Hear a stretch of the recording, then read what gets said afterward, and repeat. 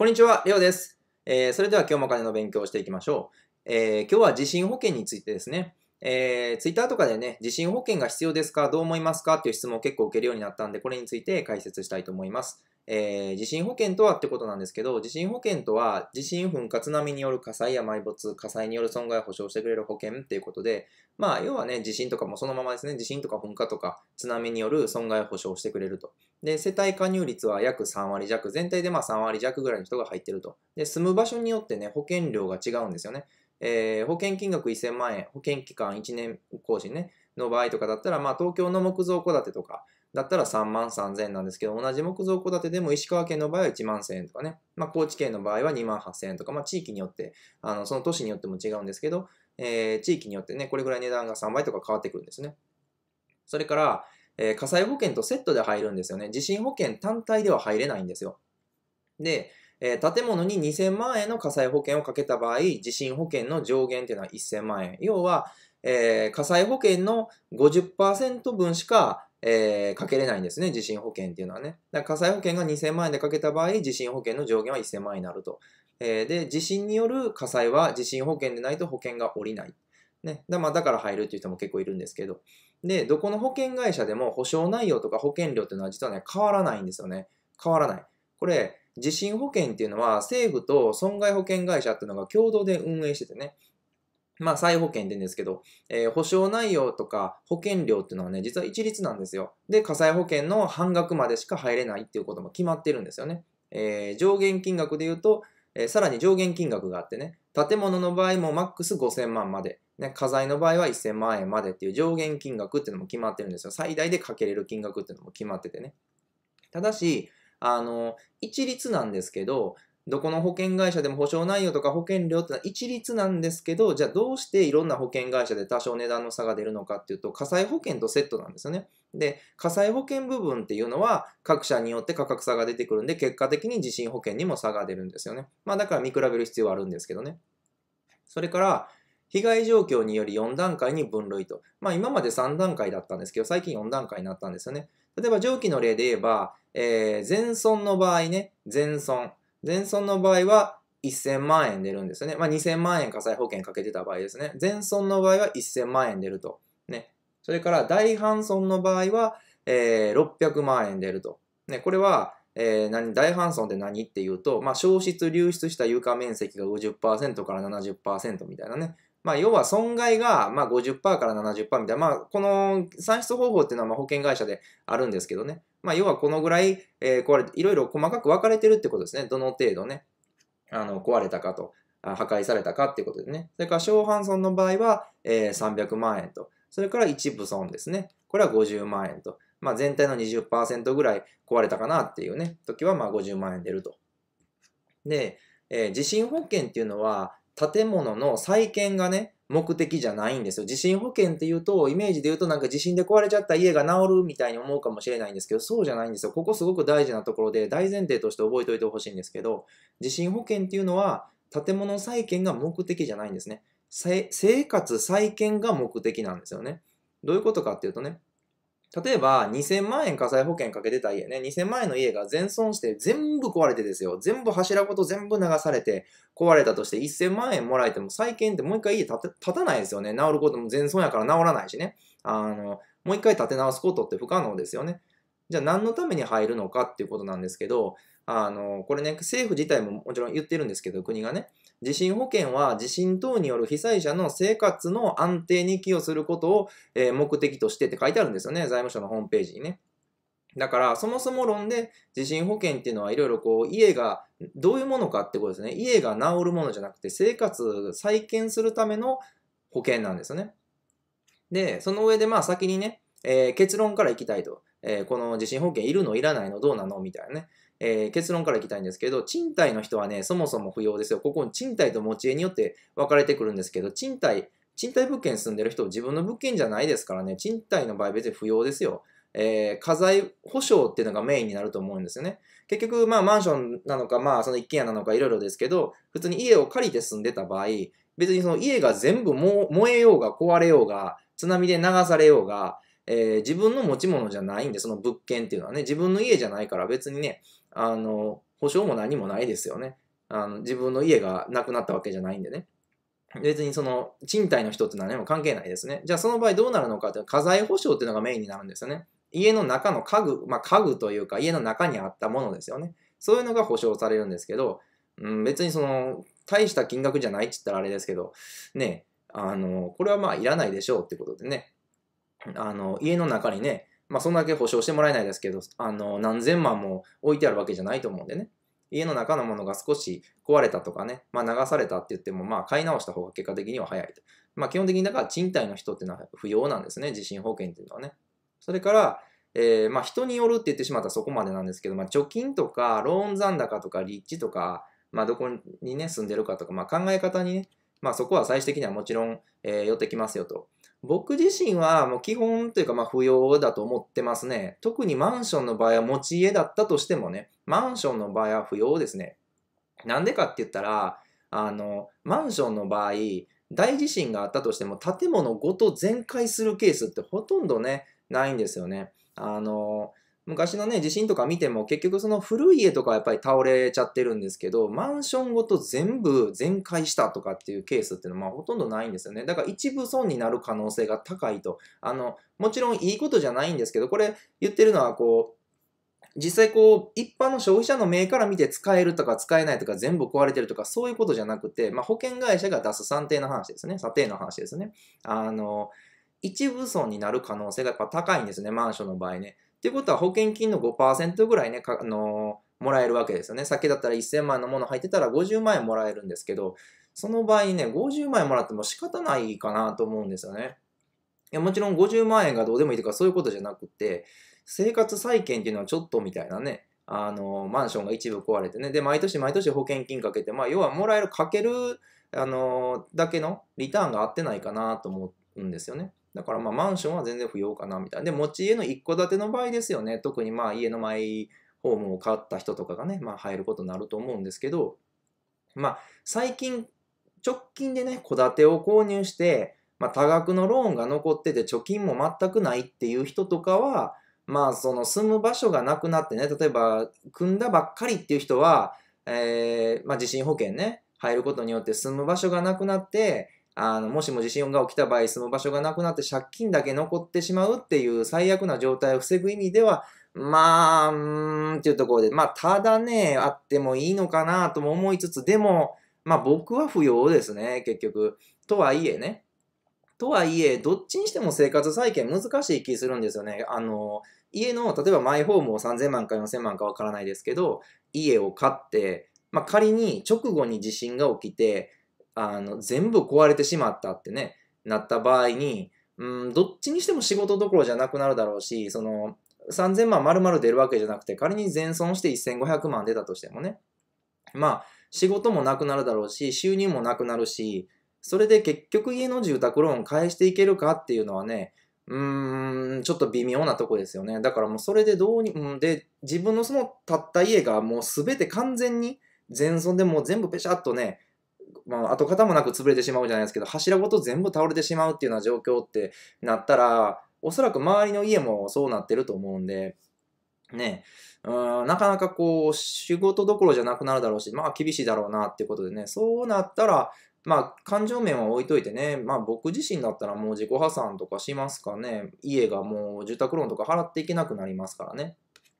うん、だから、まあ、そこまで入る意味があるかなっていう気はするんですけどね、どっちにしろ生活再建難しいんじゃないかなって思うんですけどね。で、家屋が全壊したら、あの、一応国からはね、まあ、この被災者生活再建支援金っていうのが、まあ、一応受け入れるんですけどね、まあ、すぐ出るかどうかっていうのと、まあ、最大で300万円なんですけど、まあ、そういうものも、えー、国から、えー、火災保険関係なくね、えー、出ますよと。ということで、まあ、もろもろ、え加味すると個人的には不要かなと。あの、最低限の生活費を確保する方が先だと思うんですよね。いつも言うんですけど、保険に入ってるから安心なんじゃなくて、やっぱり最低限の医療保険にしても何にしても、最低限の貯金する方が大事なんですよね。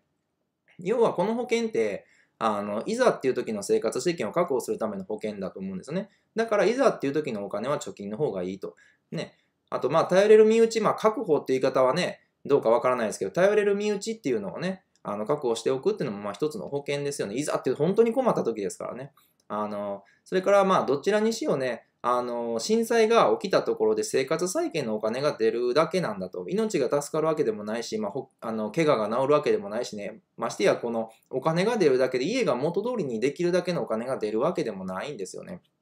で、この最大で、全損ね、最大で火災保険の50%なんですよ。最大でですよ。ね、この東日本大震災の時でさえね、被災した人の7割が一部損ですよ。一部損壊ねっていう、えー、まあ、査定というかね、まあ、されたっていうふうには、まあまあ、えー、らしいんですけども、うん、全損で50%ですからね、全部出るとも限らないみたいな。だからまあ、そのお金をもらうために毎年、もらえるかもらえないかよくわからないと。それのためにまあ、毎年ね、お金結構高いんで、地震保険ってね、それをかけ続けるっていうのはまあ、どうかなと思うんですよね。リスクとリターンが合ってない気がするんですけどね。で、えー、関東、まあ、これはね、ホリエモンが言ってるんですけど、関東で地震が起きたら古い家が潰れまくると。そうすると保険会社がまあデフォルトね、してどっちにしろ保険代はもらえない。まあ、要は潰れちゃってね、あの、どっちにしろ保険代はもらえないっていうふうにね、まあ、ホリエモンはそういう意見みたいですね。まあ、だから地震保険は不要なんだと。まあ、最初はもちろん自己判断ですけどね。まあ、もしも入るんだったら、あの、安いところとかね、まあ、もちろん一括見積もりはね、した方がいいと思うんで、まあ、いくつかね、あの、見積もりサイトっていうのがあるんで、あの、まあ、いくつか見積もりは出してみてもいいんじゃないかなとは思いますね。えー、っていうところで、もっと伝えたいことね、この地震保険通じて伝えたいこととしては、やっぱりね、この保険全般言えるんですけど、保険よりも、その最低限の生活防衛のための貯金っていうのが、やっぱ大事なんですよね。保険に入ったから一切貯金しなくていいとか、そういうことじゃなくてね。で、この医療保険にしても、がん保険にしてもね、このペット保険、収入保障保険、生命保険ね。まあ、この辺にしても、結局、最低限の生活防衛のための貯金があったらいらないんですよね、この辺ね。まあ、生命保険はその場合によったら必要かもしれないですけど、この医療保険とかにしても、その別の回でも話してるんですけど、結局入院費が払えないとか、いざっていう時のその、ね、病院代が払えないから入るんだっていうことなんですけど、いざっていう時のための貯金があったら、あの入らなくていいんですよね。貯金がないから保険に入らないといけないっていう、そういう考え方ですね。保険貧乏になっちゃうよと。保険に入るから貯金がたまらない。ね、鶏卵みたいな話ですけど、どっちが先かみたいなね。だから、やっぱり最低限の貯金を先に作るっていう方が僕は先だと思うんですよね。圧倒的にね、あの、健康でね、入れたりとか、地震が起きない可能性の方が高いんで、やっぱり先に貯金を作るっていう方が、まあ、多くの可能性の高い方を取っていくってことですよね。で、もう一つは、もう、まあ、買ってしまってる人がダメとかいうことじゃないですよ。感情論を一旦別に置いといてほしいんですけど、あの、いつもね、マイホームのこういう話をするとちょっとね、あの、怒っちゃう人がいるんで、えー、家、まあ、負債ですよね。結局、ほとんどの家っていうのはね、負債なんですよ。2000万の価値しかないものを3000万で買うと。だから1000万円買った瞬間に負債、ね、借金ができる。本当の意味での借金ができるんですよね。家を買うから保険に入らないといけなくなるわけですよね。感情の話は置いといてね。家を買うから、あ地震保険にも入っておかないといざっていう時お金がないなとかね、あの何かあった時にちょっと困るから、えー、病気のためのね、医療保険入っておかないといけないなっていろんな割高の保険に入っていかないといけないと。ね、家ね、あのー、昔小さい時とかね、借金してまで物を買っちゃいけないって、まあ習ってる人って多いと思うんですよね。人からお金借りて、自分の好きなもの買っちゃいけないみたいなね。なんか変じゃないですか。あの、なのに、なんで家だけいいのかなっていう話ね。もちろん各自の自由なんですけど、最終的には自分の自己責任なんで、別に何を買おうがどうしようが自由なんですけど、これってちょっと変だよねっていう話なんですけどね。僕が思うのは。ね、借金してまで家だけはなんか家を持たないと、えー、家を持って一人前とかね。やっぱり結婚したらマイホームとかっていうのはまあその刷り込みっていうかね世間のイメージであってほとんどの人はこの家を買ってしまうからあのしんどくなるんですよねお金の意味では。なんで自分で例えば5000万手元にあるとなかなかそれだけたまらないと思うんですけど5000万手元にある人が5000万使おうがやっぱそれは自由なわけであって別に何もお金的にまあ困ることってないと思うんですけど、ほとんどの人が家買うって何千万も貯金ないじゃないですか。やっぱたまらないですよね、普通に生活してて。で、それを借金してまでやっぱ買ってしまうから、しんどくなっちゃうんですよね。だから、あのこの負債が大きい状態に入るからいろんな保険に入らないといけなくなって結局毎月の支払いももっとしんどくなって全然お金が最低限の分を貯めたいのになかなかたまらなくなっちゃうわけですね。でまあ、どうすればいいのかってことなんですけど、保険全般にね、言えることなんですけど、必要な最低限の保険に絞るってことですね。ずっとこう、他の保険の話でも言ってるんですけど、必要な最低限の保険に絞ると。まあ、これですよね、ずっと言ってる。えー、火災保険と自動車保険ね。えー、車両保険はいらないですよ。えー、火災保険、自動車保険、掛け捨ての生命保険と必要な保険っていうのはもうほぼこれだけだと。えー、まあ、自転車保険っていうのは火災保険のセットで入れといてもね、月数百円なんでまあいいと思うんですけど、えー、火災保険、自動車保険、掛け捨ての生命保険と。で、掛け捨ての生命保険も結局自活できないね。自分がもしも何か自分の身に何かがあったら、本当に生活できないっていう家族がいる場合のみでね、まあ、ほとんどが子供とかになると思うんですけどね。で、自動車も自動車持ってなかったらいらないしね、火災保険も別に自分でね、あの、家買った場合に入っとけばいいんで、まあ、賃貸でも入っといた方がいいんですけどね、あの、火災保険入ってもそんなに知れてるんだよね。で、えー、本当に必要な保険に絞ると。で、浮いた分をちゃんと貯金しておくっていうのがやっぱ大事だと必要な最低限の保険に絞るっていうことでね、まあ、医療保険とか積み立ての保険とかね、本当にあのいらない保険が多いんで、えー、そういう保険に入るとなかなか貯金しづらくなっちゃうんで、必要最低限の保険にちゃんと絞るってことですね。で保険の本来の目的を見失わないっていうのが大事ですね。ずっとこれも話してることで、いざっていう時に生活が困窮しないために保険っていうのは入るんですよね。損したとか得したってことじゃないですね。地震はもちろん壊滅的な被害ってことを受ける可能性はありますよ。だから保険入っとかないといけないんじゃないのかってことなんですけど、地震保険だけは生活を再建できるだけの金額には心もとないんですよね。要はリターンが合わないと。他の自動車保険とか生命保険とか火災保険っていうのは、まあ、いざっていう時の出る金額と、えー、かける金額とか、まあ、合うんですよね。まあ、あと自動車乗るんだったらどうしても人跳ねてしまうとかいう可能性もね、やっぱそこそこ高いんでね。なんで、えー、この辺は、あってくるし、いざっていう時に生活が困窮しないために入っといた方がいいんですけど、地震保険はちょっとリターンとね、合わないんですよね。自動車保険とかだったらね、対人対物無制限って言って、まあ、あの、いくらのね、まあ、どういう状況になっても、えー、お金ってね、保険会社が全部払ってくれますけど、今回の地震保険の場合はそういうわけにいかないんでね、うん、なかなかちょっとリターンと合わない保険だなっていう。で、当たった、外れた、損した、得したって話をしててもしょうがないんですよね。こういう損害保険の話とかになった時とかでもそうなんですけど、必ず、あの、私の場合は得しましたっていう人が現れるんですけど、あの、損得のために入るものじゃないですよね。いざっていう時の保険なわけでね、いざっていうのは本当に生活が困窮しないために入る保険なのに損した得したっていうのはおかしいんですよね。あの、当たった、もちろん、あの、いつも保険はね、不幸のギャンブルだっていうんで、えもちろん当たった人もいれば外れた人もいるわけですよね。だから当たった人に聞けば保険入っといた方がいいよって絶対言うし、外れた人、多くがまあ外れた方ですけど、外れた人に聞けば入らなくてよかったっていうしね、まあ、パチンコと一緒ですよね。パチンコ行って、えー、夕方ね、出てきた人に、買った人に聞いたら絶対今日行った方がよかったっていうしね、負けた人に聞いたら行かんかった方がよかったみたいな、まあ感情論で楽しかったとか置いといてね。まあ損得で言うと、えー、そういう人が出ると一定ですよね。そうではなくて、生活が困窮しないために必要最低限かけるんだと、損した得したっていうものじゃないよってことですね。でそれからお金が出るだけだと、体が治るわけでもないですよね。いざっていう時にいくらいるのかをちゃんと計算すると。で、普段から病気にならない生活をするってことですね。保険全般ね。まあ、地震保険とはちょっとこう、あの、離れた話になっちゃいますけどね。で、何度も言うように最低限の貯金をしていくと。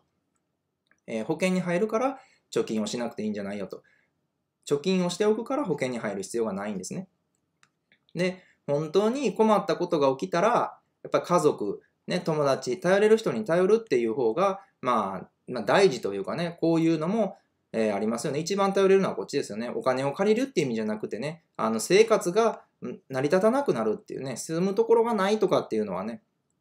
時に助けてくれるのは、まあ、保険ってよりかは、まあ、こっちかなってことで、まあ、本当に困った時にたまにね、誰も助けてもらえる身内も友達も誰一人いないとかっていう人、あの、たまにいるんですけど、あの、本当に自分が困った時に親友とかね、家族が助けてもらえないんだったら、これはね、